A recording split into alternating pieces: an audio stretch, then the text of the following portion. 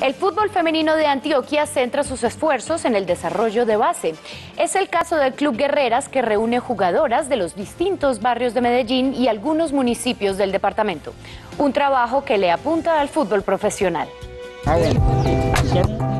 El fútbol femenino en Colombia, especialmente en Medellín, ha tenido un crecimiento exponencial para llegar al alto rendimiento se debe empezar por las bases y el Club Guerreras acoge mujeres y niñas de todas las edades para la práctica del balonpié.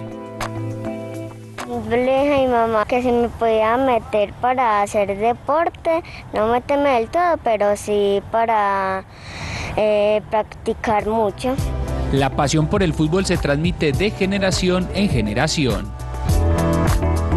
Me gusta mucho entrenar como mis hermanos vienen acá a entrenar, eh, a mí también me gustó como ellos jugaban, yo antes venía aquí a verlos. El fútbol femenino aún conserva algunos prejuicios frente a la sociedad, lo que no disminuye el ímpetu y ganas de estas guerreras.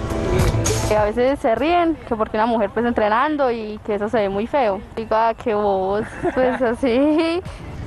El trabajo de fútbol para mujeres en Antioquia cada vez se ejecuta en edades más tempranas, lo que permite tener un mejor desarrollo motriz y técnico para una proyección futura en el deporte.